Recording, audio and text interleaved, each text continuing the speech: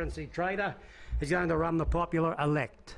And, he, and he's been in the gates and standing well. Rockamador joins them and they're set for the Gillen Club.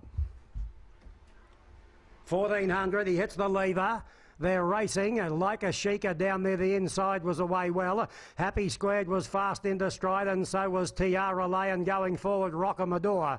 Blackford and Darcy Legend are going to settle just off the speed. They got Currency Trader four deep heading into the back straight. Make a ton dropped out second last, and the tail ender is Rizik. Heading into the back at the 1100, and Rockamador sped to the lead, crossed over and led by three at the 1000. Happy Squared second, and there's Currency Trader striding up to them three deep. Fourth, like a Sheikah. Fifth, Blackford. A length away came Darcy Legend, two and a half. Tiara Lay make a ton.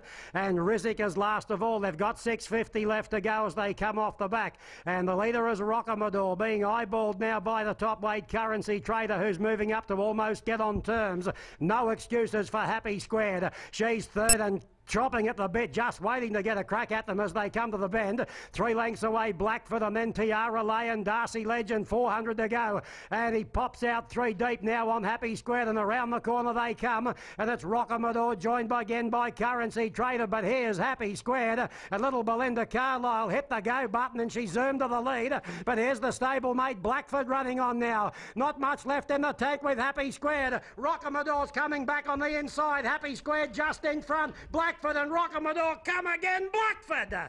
Blackford right in the last stride nailed Happy Squared. A half head away third might be Rockamador.